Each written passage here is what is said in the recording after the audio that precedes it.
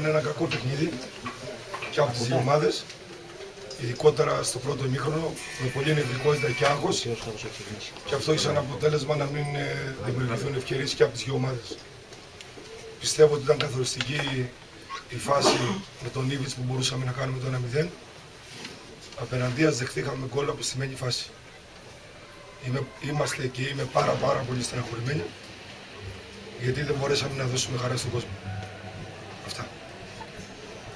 Όπως φάνηκε ο Πάουκ ότι όταν έφαγε τον γκολ δεν είχε κανένα πλάνο να αντιδράσει.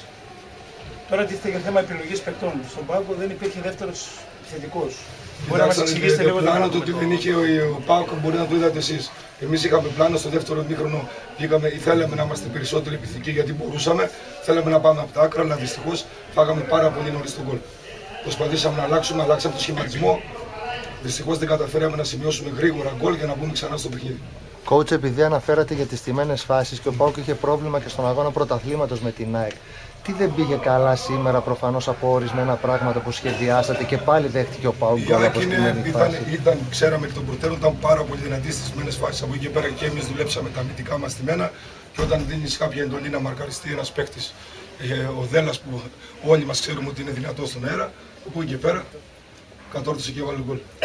Έγιναν και πολλά στο τέλος του αγώνα. Θέλετε να πείτε κάτι και γι' αυτό και ένα μήνυμα για την επόμενη Δεν μέρα. θέλω να πω τίποτα. Η ομάδα μπορεί να μαζέψει τα κομμάτια. Η ομάδα βέβαια μπορεί να μαζέψει. Γιατί δεν μπορεί να Γιατί μαζέψει. ακούστηκαν βαριές Η ομάδα εκφράσεις μπορεί, στον κόσμο. μπορεί να μαζέψει τα κομμάτια τη. Έχουμε το πρωτάθλημα και συνεχίζουμε.